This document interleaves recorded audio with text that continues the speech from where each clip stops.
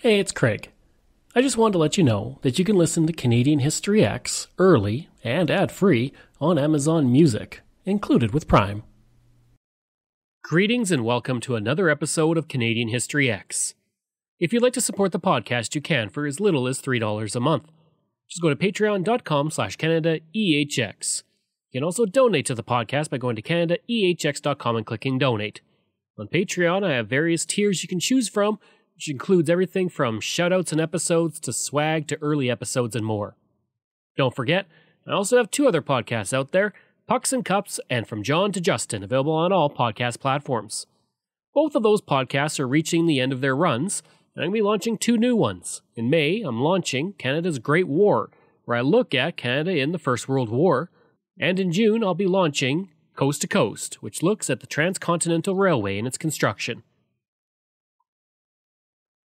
During her heyday, only Charlie Chaplin could compare to Mary Pickford when it came to worldwide fame. Beloved across the globe, she was the highest paid actress of her day, and for Americans, she was known as America's sweetheart. Of course, the irony is that she was Canadian. Today, I'm looking at one of the biggest movie stars of the silent era, Gladys Louise Smith, or Mary Pickford. Born on April 8, 1892, Mary Pickford was the oldest child of Charlotte and John Charles Smith. When she was born, Pickford was baptized as a Methodist, the religion of her father. When she was four, she contracted diphtheria and was baptized by a Roman Catholic priest, and her middle name was changed to Marie. Oh, I'm very sad about my old Toronto. Yeah? Mm-hmm. You know, I used to ride down on my bicycle right from Yonge Street down to Queen. Yeah. And I didn't have to pedal at all. You know, there's quite a little hill there. Yes, you wouldn't notice it today. Of course, nobody ever rides a bicycle down University Avenue. Well, I did, you know. I- When I went back, even after that the trees had been taken down on the bicycle path, I told the newspaper people how I love my bicycle. And um, when I was photographed in front of the house where I was born, there stood a bicycle. Two years later, when she was six, her father, who had already abandoned the family, died from a head injury after a fall while working on a Niagara steamship. Charlotte began to rent a room to a stage manager from the Cummings Stock Company of Toronto. As it turned out, this renter would change the life of the entire family. The manager suggested to Charlotte that her daughters would be perfect for the stage. That same year, Mary would make her stage debut with the Valentine Stock Company in 1898 in Bootle's Baby. In 1900, she performed at Toronto's Princess Theatre, playing the parts of a boy and a girl in The Silver King, while her mother played the organ for the production. Before long, she began to land more roles in Toronto theatres. For the next six years, the family toured with mostly third rate companies and plays, barely making enough money to get by. By this point, Pickford was 15, and she decided she would spend one more summer trying to land a leading role in Broadway, and if she failed, she would quit acting. In 1907, when she was 15, the family joined the David Belasco Theatre Company, and he suggested that Gladys start going by the name of Mary Pickford, which was her middle name and the middle name of her grandfather, John Pickford Hennessy. That same year, she landed a supporting role in The Warrens of Virginia. The play was written by William DeMille, and his brother Cecil was a member of the cast. In 1909, motion pictures were just starting to take the world by storm, and seeing that this was where acting was heading, Pickford began to seek work in the new medium and landed her first cinematic experience in Her First Biscuits, which was directed by D.W. Griffith. Well, as I entered the uh, Biograph uh, studio, and it was a, a big old mansion a beautiful uh, sta- winding staircase, a circular staircase, marble floor, and out of the uh, opposite door, a swinging door that led to the studio proper, which was a ballroom, came the one and only D.W. Griffith, David Wark Griffith. And he looked me up and down, and I resented it very much. I thought, here's one of these awful people that um, work in motion pictures. And he said to me, What do you want? I said, I'm looking for work. He said, What experience have you had? Well, this was adding insult to injury. I said, Only 10 years. He said, You don't look that old. Well, he said, What did you do last? I said, uh, I just came from the David Belasco Company. He said, That's good enough. Come with me. So he put on my makeup, the first motion picture makeup I ever had, and I want to tell you, I looked lo- more like Pancho Villa. She had been offered $5 per day whenever she was needed for a scene, but Pickford declined, asking for $25, stating, quote, I am an actress and an artist, and I must have a guarantee of $25 a week and extra when I work extra, end quote. while she didn't get that amount, she was given $10, double what the usual was for the time. She soon signed with the Biograph Company, and her first starring role in The Violin Maker Cremona was also directed by Griffith. The 15 minute film was released on June 7, 1909. Of that time, Pickford would say, quote, I played scrub women and secretaries and women of all nationalities. I decided that if I could get into as many pictures as possible, I'd become known, and there would be a demand for my work.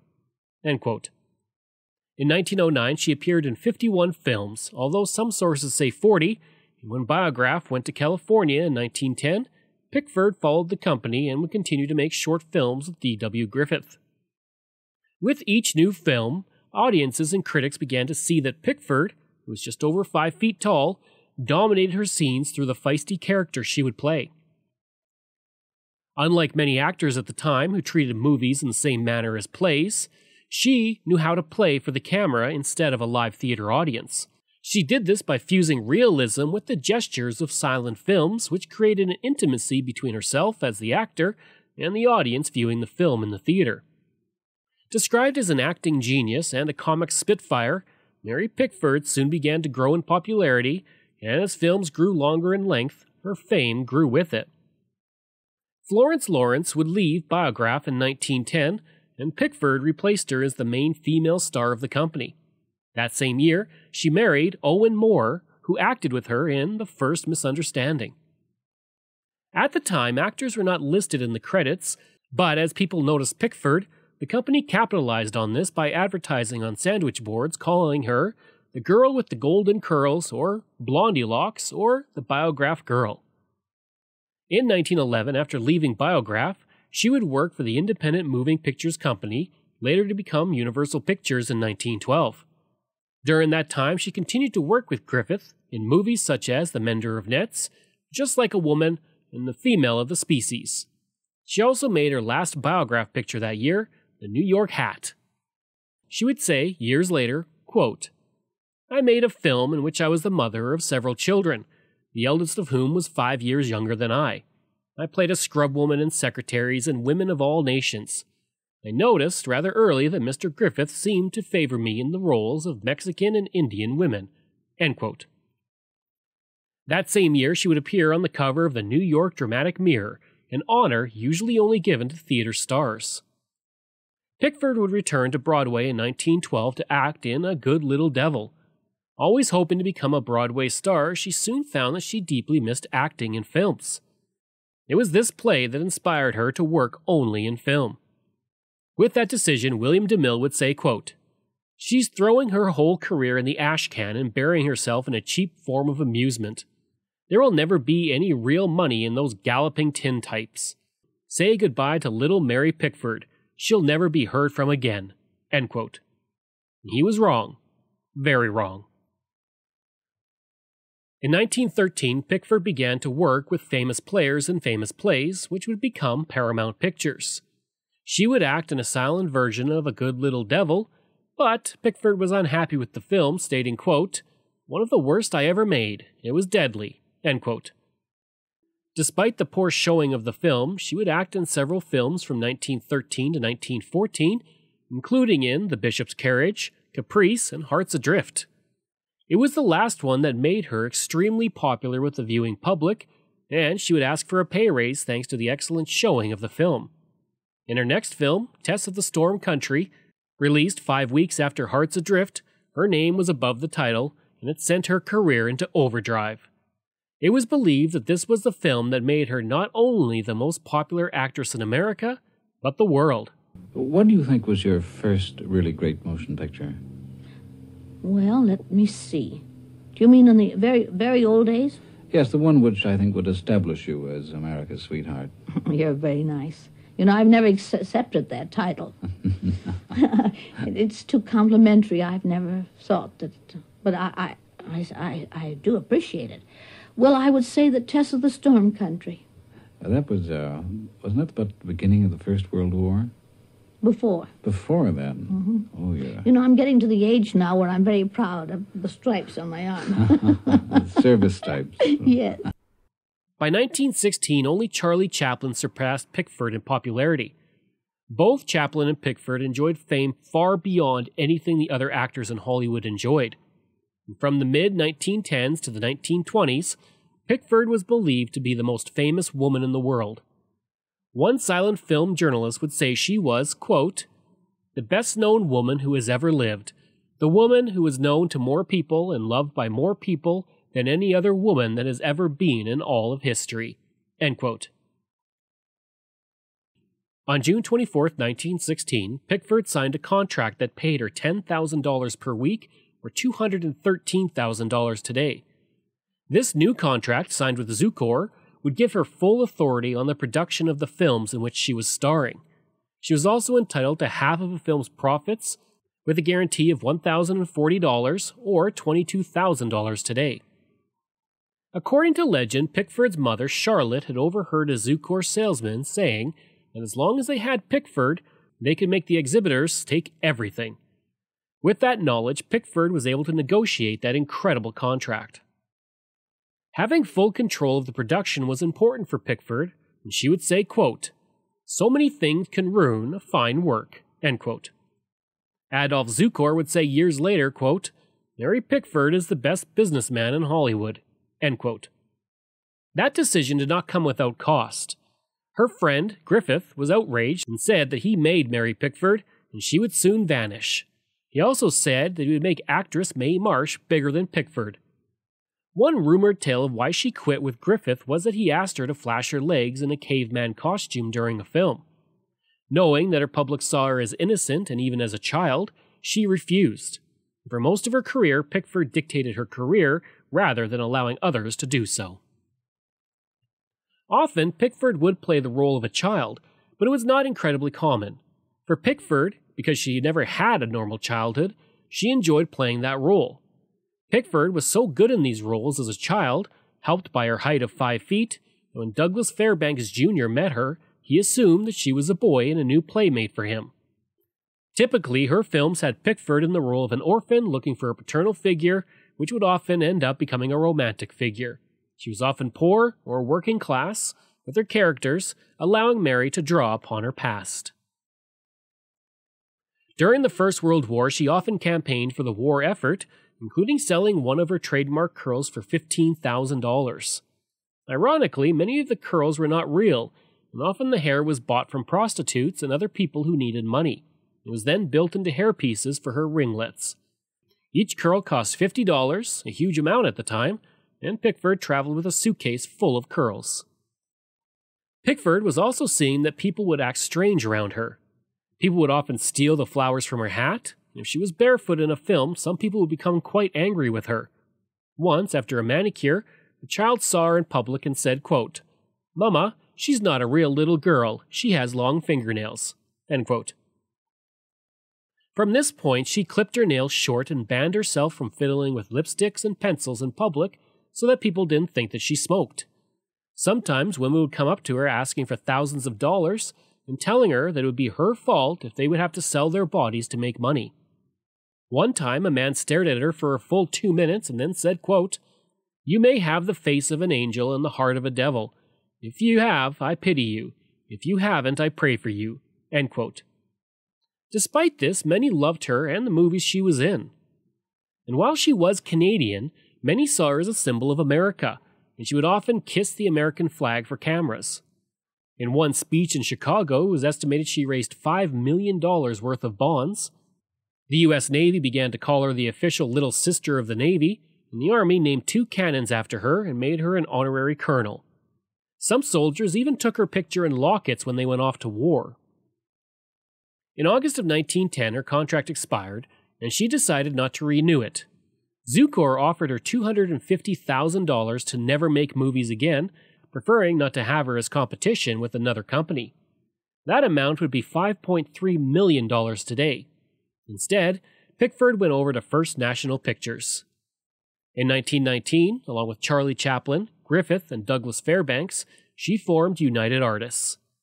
Through this new company, she could produce and perform in her own movies and distribute them in a way she liked.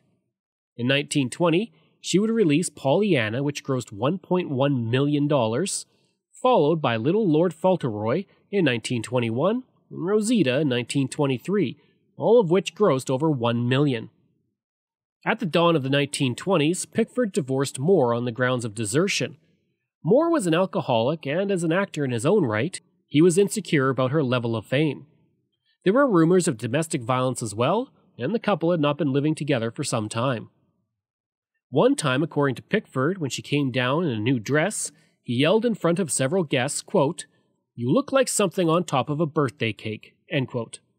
Another time, he would tell friends at a party, quote, Mary has an expressive little talent, hardly what I'd call cerebral. End quote.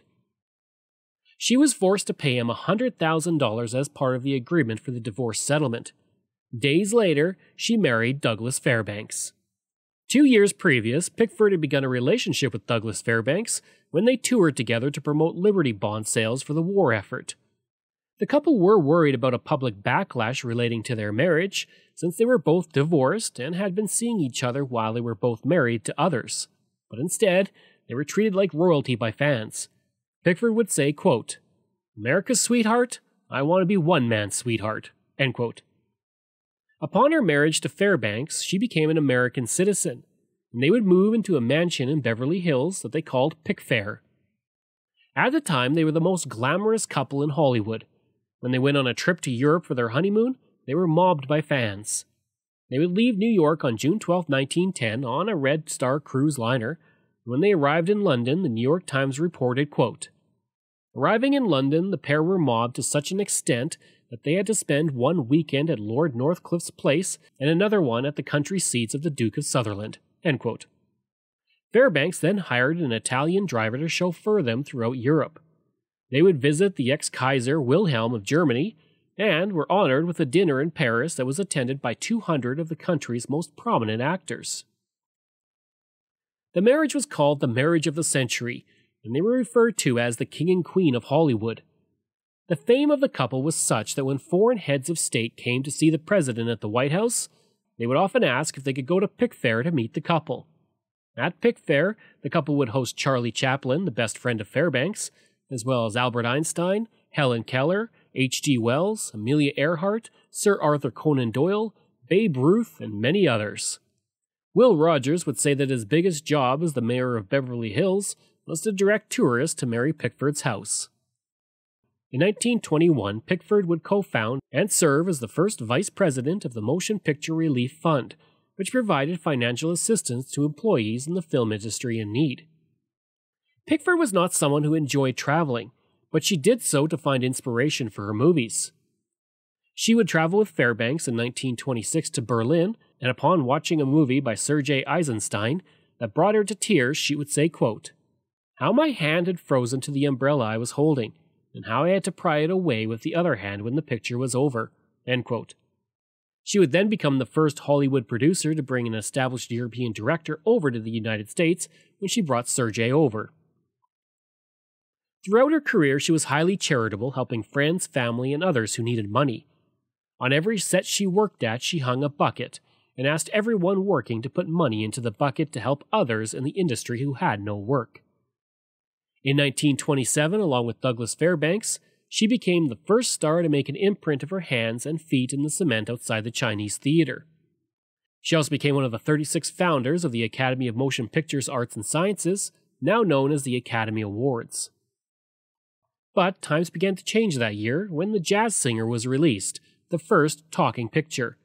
Pickford would star in her last silent movie, My Best Girl, the same year, and like many silent movie stars, she was dismissive of talking films at first, stating, quote, Adding sound to movies would be like putting lipstick on the Venus de Milo. End quote. In 1928, Pickford lost her mother to cancer. With this loss and the changing movie industry, it was a difficult time for Pickford, and she would star in Coquette in 1929, her first talkie, and she received the Academy Award for Best Actress. This made her the first Canadian to win an Academy Award. Miss Besant, I believe you were in love with Michael Jeffrey, were you not? No, You weren't. no. Then why did you tell him after he was shot that you loved him more than life itself? He was dying. I pitied him. You you were very tender to him. He was dying. You kissed him. He was dying, I tell you. You cried as though your heart were broken. I, I cried once when my doll was broken. He spoke of a little house in the valley. He, he was delirious. Hadn't he gone up into the hills to work diligently in order that he might buy that little house for you? No, Then why did he go up into the hills? because, because he was, he was angry, I reckon. Angry? Why? Because he, he couldn't have me then. Why, he carried your picture. He cherished it. He, he probably had pictures of lots of girls. The movie caused a stir because she had cut her trademark ringlets and instead had a bob haircut, something she had actually done in the wake of her mother's death. For many, the transformation was a shock as her hair had become a symbol of female virtue for some. The cutting of her hair made front page news with the New York Times, and some people even resorted to sending her hate mail. She also starred in The Taming of the Shrew that year with Douglas Fairbanks, and the film failed at the box office, a sign of things to come. In 1933, Pickford would make her final film appearance when she acted in Secrets. Due to the closure of the banks as a measure to fight the Great Depression, it did poorly at the box office. Soon after, Pickford retired from acting in films for good.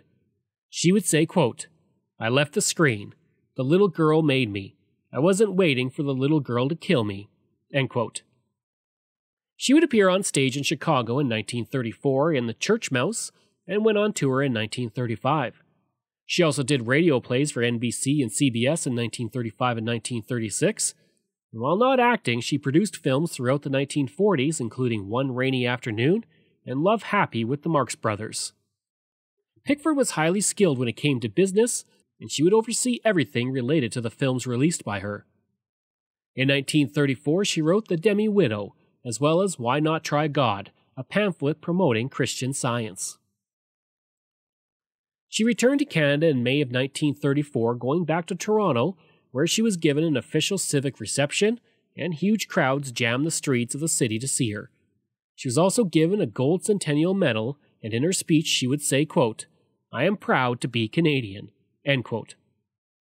In 1936, Pickford would separate from Douglas Fairbanks, citing infidelity. Despite the divorce, Douglas Fairbanks' son stated that Pickford and his father long regretted their inability to reconcile. Fairbanks would die only three years later. In 1937, Pickford married Buddy Rogers and adopted his two children, Charles and Roxanne. While she no longer acted in films, Pickford would keep busy through business. She would set up the Mary Pickford Cosmetics, she co founded the Society of Independent Motion Picture Producers and the Mary Pickford Charitable Trust. In 1943, her family home was demolished in Toronto, and most of the bricks were delivered to Pickford in California. The proceeds from the sale were donated by Pickford to build a bungalow in Toronto, and the bungalow was then made the first prize in a lottery to benefit war charities. On May 26, 1943, she unveiled the home. Pickford and Chaplin remained partners and United Artists for decades until 1955, when Chaplin left the company. Pickford left the company one year later, selling her shares for $3 million or $30 million today. Thanks to her prudence during her heyday, she would often put upwards of two thirds of her income away in the bank, rather than spend it. And by the time she was long past acting, her net worth was estimated to be $40 million or upwards of 200 million today. She also owned many of her early silent films, and her intention was to have them burned upon her death. Thankfully, in 1970, she agreed to donate 50 of her biograph films to the American Film Institute.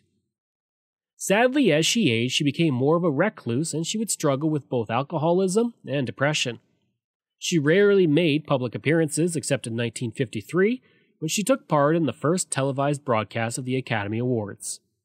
As a recluse, she only saw Lillian Gish, a fellow actress, Douglas Fairbanks Jr., and a few other people. She would say around this time, quote, It would be unfair to the woman I was. Why should I try to compete with the beauties of today? End quote. In 1955, she would publish her memoirs, Sunshine and Shadows. In 1959, she had to appear in court on a matter relating to her co ownership of a North Carolina TV station. The court date was actually her 67th birthday, and when asked under oath to give her age, she said, quote, I'm 21 going on 20, end quote. By the mid 1960s, Pickford would only receive visitors by phone, speaking to them from her bedroom. Her husband would give tours of Pickfair, which included a Western bar she had bought for Douglas Fairbanks and a portrait of Pickford that is now in the Library of Congress. She would also hold charitable events at her home, including a Christmas party held every year to help blind veterans from the First World War. When she received a Lifetime Achievement Oscar in 1976, she did not attend the ceremony and only accepted it at Pickfair. Mary, I present this to you with great pride and with the love and admiration of the whole Academy. That's wonderful. You made me very, very happy. And thank you. Well, it's nice to see another, isn't it? It, it certainly is. He hasn't changed very much in all this time, has he? Well, I hope not. No, he hasn't. he hasn't. There have been a lot of him made, and a lot of marvelous actors and actresses have won him.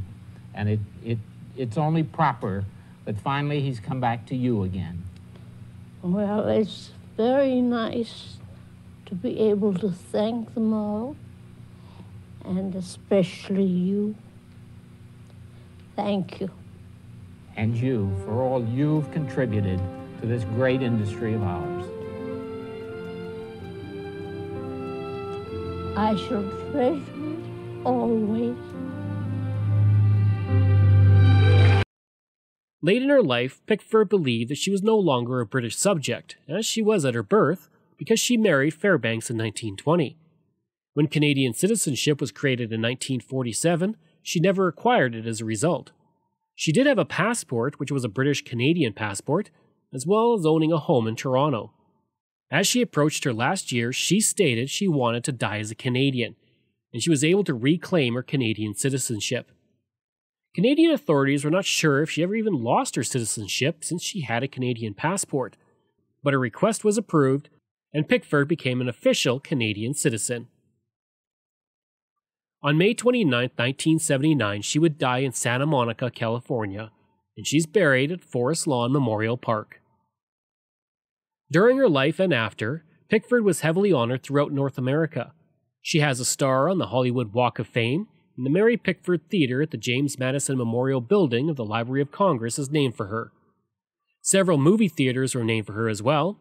A bust and historic plaque marks her birthplace in Toronto, and Pickford was inducted into Canada's Walk of Fame in 1999, and a postage stamp featured her face in 2006. On April 8, 2017, a Google Doodle was created to celebrate her 125th birthday. Over the course of her life, Pickford acted in roughly 200 short and feature films. She won two Academy Awards, and as of 2009, two of her films have been added to the National Film Registry.